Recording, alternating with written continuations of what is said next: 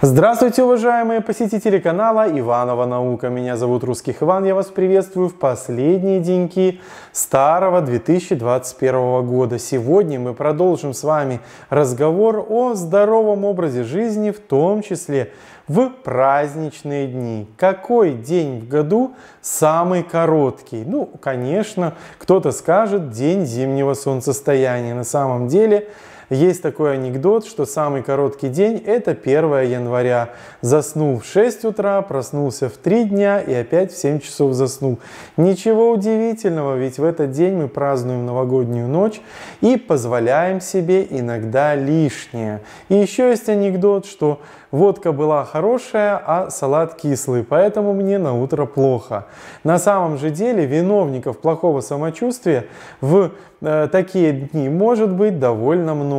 Один из виновников головной боли, с которой мы можем и ложиться, и просыпаться после таких дней и ночей, это тирамин. Тирамин – специфическое вещество, а, которое вызывает мигрень. К сожалению, многие продукты питания богаты тирамином, и у значительной части людей, не у всех, но у многих обильное потребление продуктов с высоким содержанием тирамина вызывает ту самую пресловутую головную боль одним из виновников сильной головной боли после ночных, вечерних и дневных возлияний является красное вино, в том числе и в первую очередь красное вино домашнего приготовления.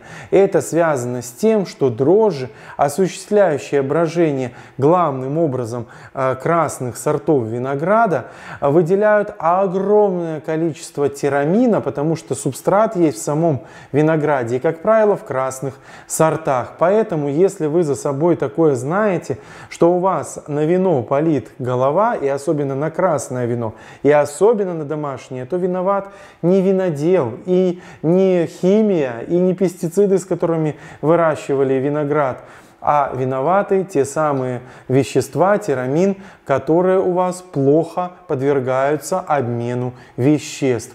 Э, и такие же вещества содержатся и в сыре. Особенно чем дороже сыр, пармезан, выдержанные сыры, э, сыры с плесенью.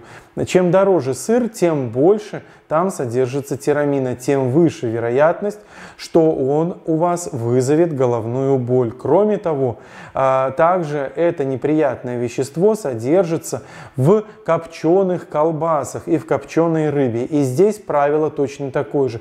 Чем дороже копченая колбаса, чем она выдержанней, чем она суше, а, чем дороже рыба, чем лучше она прокопчена, чем она суше выдержана, выражена тем больше там содержится тирамина и тем выше риски заиметь головную боль. Соевый соус, любые продукты брожения, за исключением хлеба, также содержат значительное количество тирамина. Поэтому постарайтесь в новогоднюю ночь не сочетать эти продукты вместе. Не закусывайте дорогими сырами домашнее красное вино.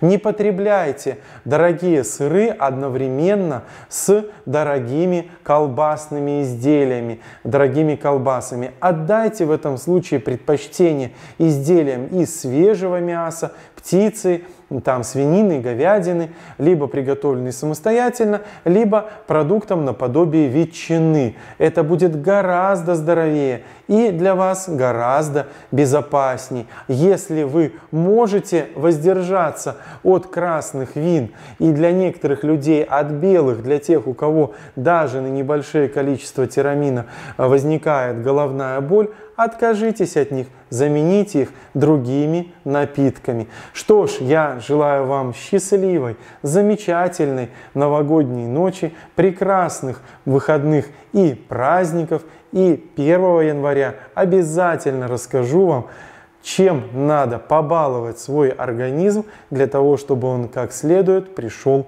в форму. Это будет очень вкусно, я вам обещаю. Что ж, до скорой встречи! thank you